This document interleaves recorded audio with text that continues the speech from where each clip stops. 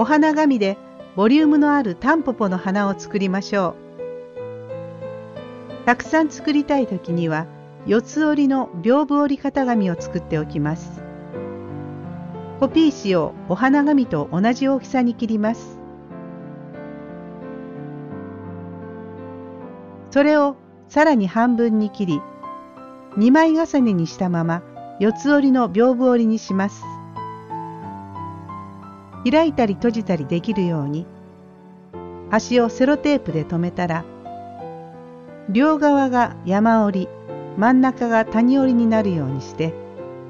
2分の1サイズを4つに折った屏風折りであることがわかるように書いておきます。これを開いて真ん中から1センチほど離れたところにお花紙を合わせる線を書いておきます。端はめくりやすいように少し切っておきましょう。黄色のお花紙を半分に折り真ん中で切ったら2枚重ねのまま型紙の内側の線に合わせます。型紙で挟んで真ん中に寄せると一瞬で四つ折りの屏風折りができます。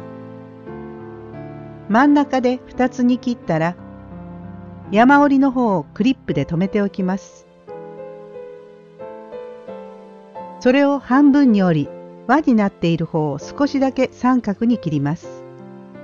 ずれないようにクリップを真ん中の折り目のところに移したら反対側から切れ込みを入れていきます。まず真ん中、そして両側3分の1ぐらいのところまで図のような比率で切り込みを入れます。真ん中はモールでねじって留めます。金色か黄色のモールを4、5センチに切ったものを用意してください。クリップを外して開いた時にできる三角形のくぼみのところにモールを引っ掛けぎゅっと引っ張ってねじったら花びらの左右を持って横に引っ張っておきます。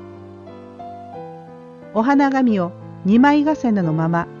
折り山を潰しながら広げていきおせんべいのような形にします。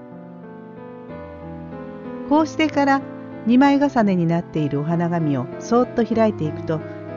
ふわっとしたきれいな丸い形になります。最後にモールをねじった方を下にして真ん中を軽く指で押さえます。もう一つの方も同じように開いていき最後は片側だけをまとめて滝を少しだけ切り取ります。切ってない方の真ん中に液体のりをつけ2つを組み合わせて形を整えると花の出来上がりです。画用紙で作った葉っぱと組み合わせて飾りましょう。この葉っぱは画用紙を無駄にしないよう三角形をつないで作っています。型紙を使ってタンポポの花をいっぱい咲かせましょう。